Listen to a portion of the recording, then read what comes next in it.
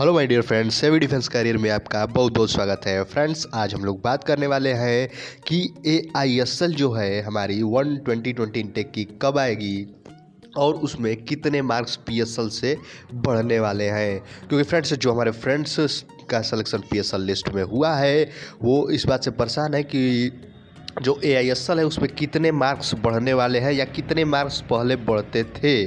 तो फ्रेंड उससे पहले मैं बता दूँ कि आपको ऐसी वीडियो देखना पसंद है तो आप हमारे channel A V defence career को सब्सक्राइब कर लीजिएगा, वीडियो को लाइक कर दीजिएगा, ताकि ये वीडियो और भी ज़्यादा बच्चों को मिल सके। सो फ्रेंड्स चलिए स्टार्ट करते हैं। फ्रेंड्स जो हमारी पी एस एल है थर्टी वन अक्टूबर को आई थी तो उसमें जैसा कि हम लोग जानते हैं एक्स ग्रुप में उनतालीस बच्चों का सलेक्शन हुआ है।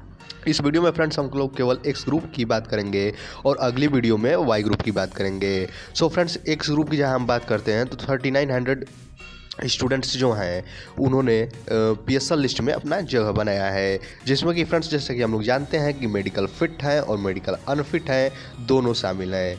और पहले हम लोग जैसे देख चुके हैं, पहले के इंटेक्स में कि जो ए आई एस एल है, वो पॉइंट फाइव से लेकर वन मार्क्स तक इंक्रीज होती है।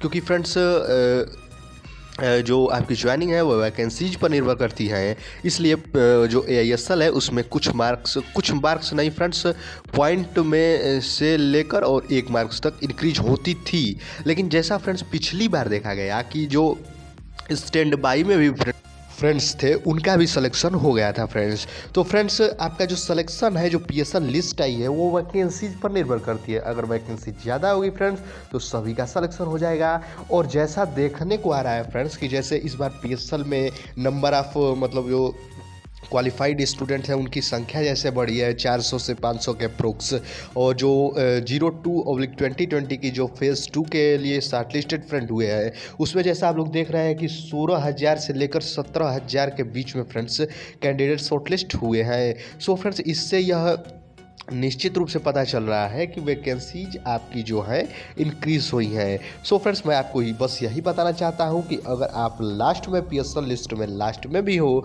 तो आपको कोई चिंता करने की आवश्यकता नहीं है।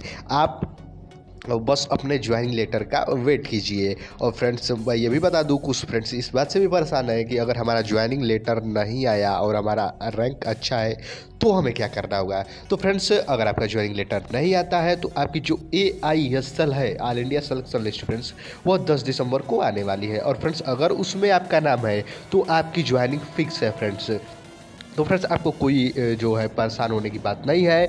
आप उसमें अगर आपका नाम है या असल में तो आपका, उसका प्रिंट आउट लेकर भी जा सकते हैं। क्योंकि फ्रेंड्स, जैसा कि हम लोग जानते हैं कि आपका जो ज्वाइनिंग लेटर है बाई पोस्ट आता है और बाई पोस्ट आने में आपका कहीं भी जैसे पोस्टमैन के द्वारा या कहीं भी उसको हो सकता है कि आप तक न पहुँच पाए। सो फ्रेंड्स आप एआईएसएल की फ़ोटो कापी मतलब लेकर भी जा सकते हैं। सो so, फ्रेंड्स आपको कोई भी परेशान होने की बात नहीं है। और आपका फ्रेंड्स अब फिर से बता देता हूँ कि आपका रैंक अगर लास्ट में भी हो तो भी आपको जो परेशान होने की कोई आवश्यकता नहीं है फ्रेंड्स सो फ्रेंड्स कैसी लगी आपको वीडियो ज़रूर बताइएगा. थैंक यू और फ्रेंड्स आप हमारे चैनल एवी डिफेंस करियर को ज़रूर सब्सक्राइब कर लीजिएगा. धन्यवाद.